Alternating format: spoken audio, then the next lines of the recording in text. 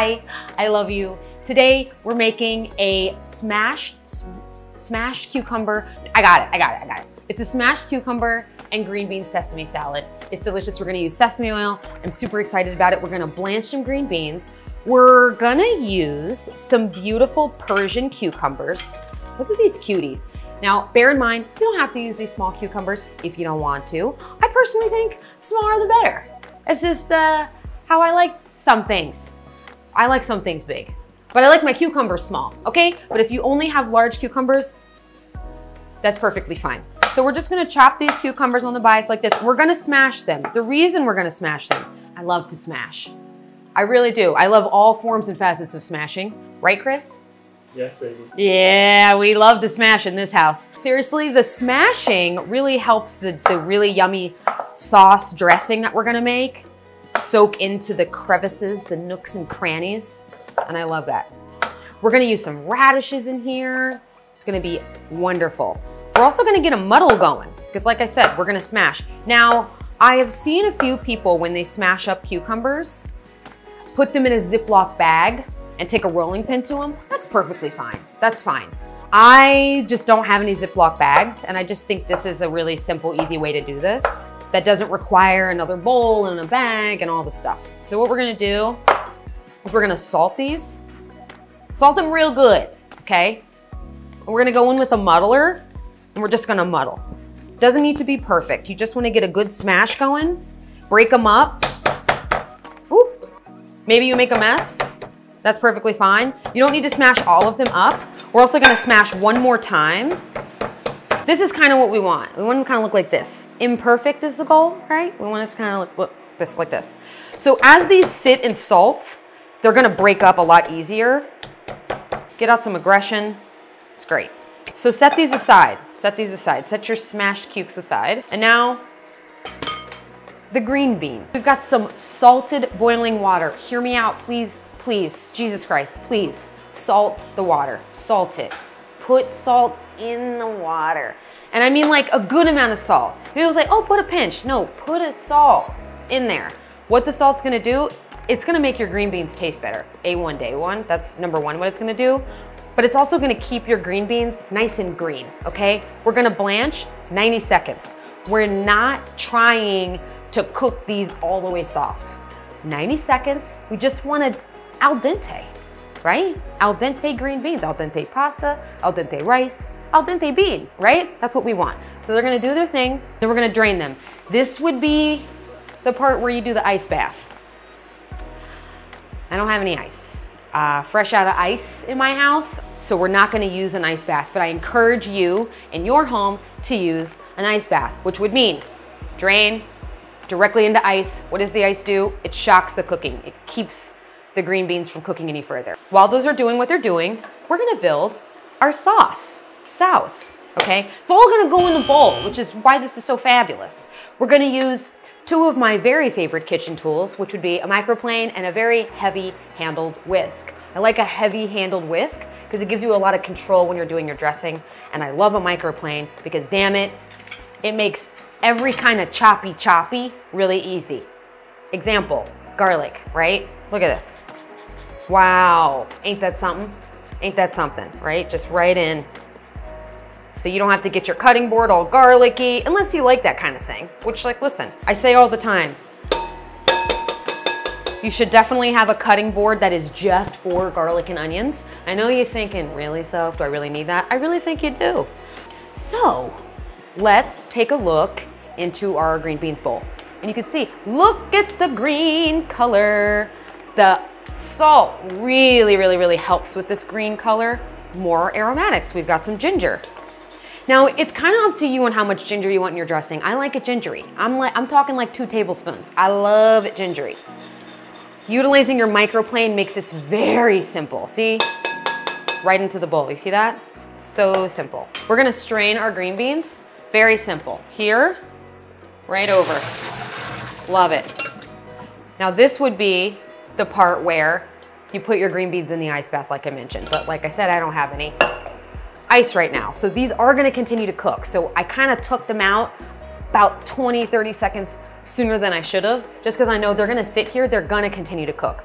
let them cool, don't worry about them. We're still building our dressing. We've got some rice wine vinegar.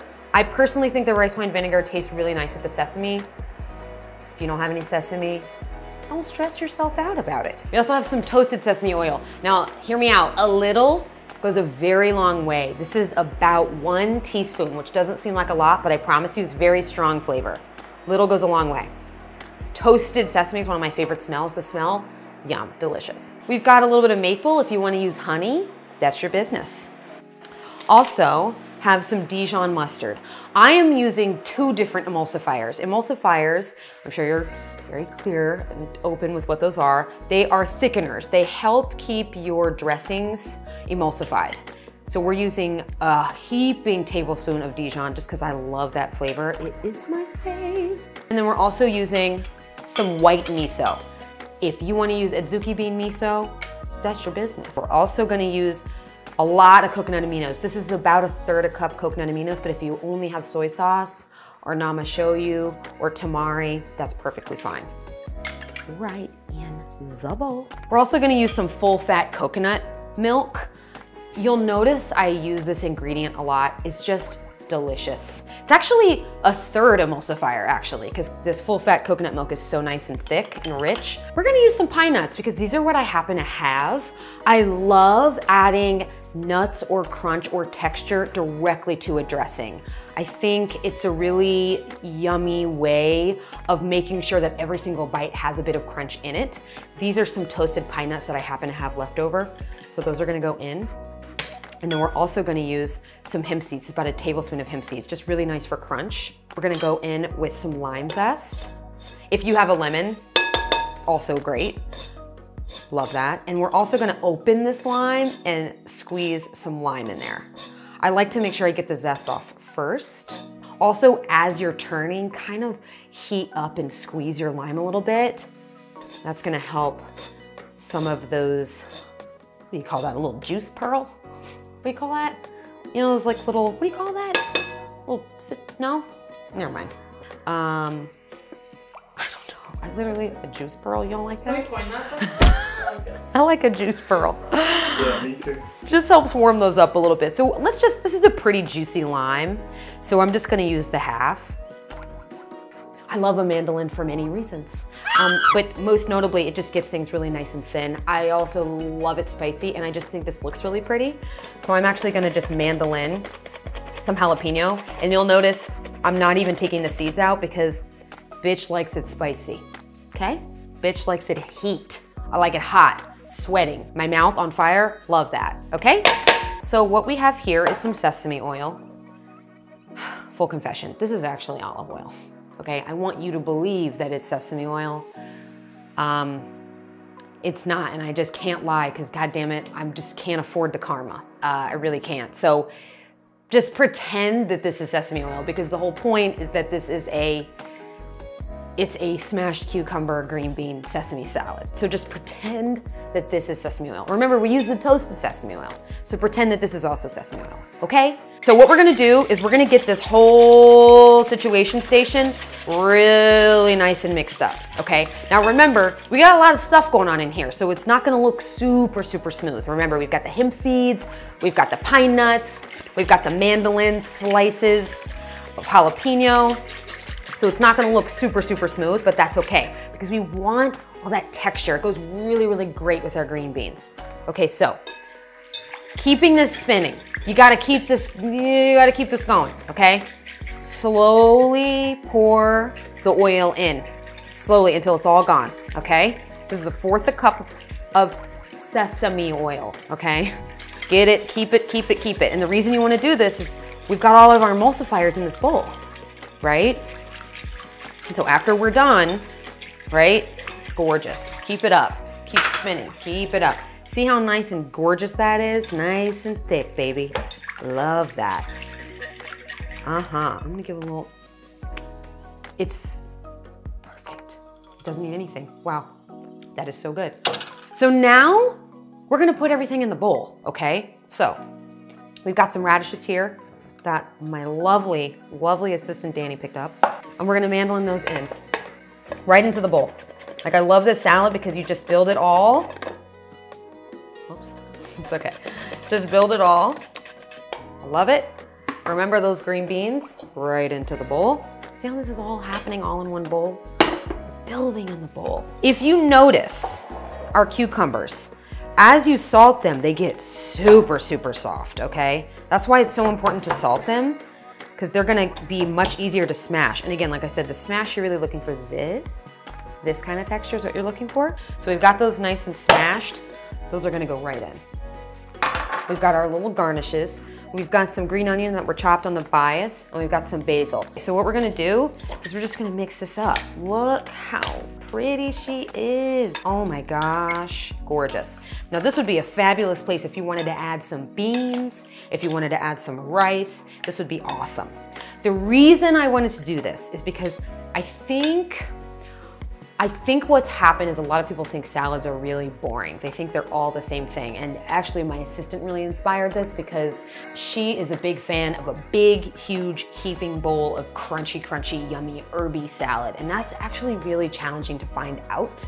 Um, at a lot of restaurants you see like, there's usually three salads you see. You see you know, the Greek salad with the feta and the olives. You see, always see a Caesar salad, or you just see like a side salad, right? That's got onion, tomato, mixed greens. Those things might get a little boring. I just wanna kind of let the record show that salads don't have to be boring and a few really cool techniques like smashing cucumbers or mixing raw with blanched stuff can actually make things really exciting. So we're gonna chop some basil. This basil has seen better days, but it's what we have, right? I'm not gonna chiffonade, I'm not gonna julienne, I'm just gonna rough chop, kind of keep it kind of big. So now we're gonna plate this gorgeous, gorgeous smashed cuke moment, okay?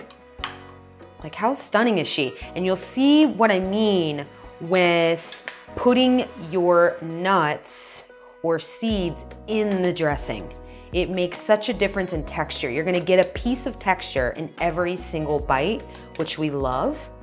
And again, we've got the smashed cukes, we've got the really pretty mandolin radishes, which are gorgeous. So after we plate, we're gonna take our herbs, right? Just like spread them on top, right? Yum.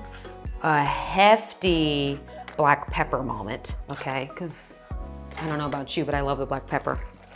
I love it, love the crunch.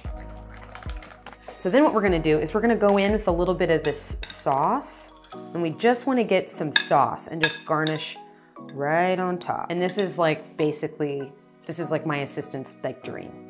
Like this is her like absolute dream. This is like this idea of a salad that has to be like a weird side salad with like red onion and like big there's nothing worse than getting a salad. You ever get those salads and they have the big fucking grape tomatoes and they don't cut them and they're just lazy salads, right? That is our smashed cucumber, green bean, sesame salad. Yum, yum, yum. I just can't, I can't lie to them. That's it. This is it. Look what we made. I made this just for Danny. I did. I made it for myself too.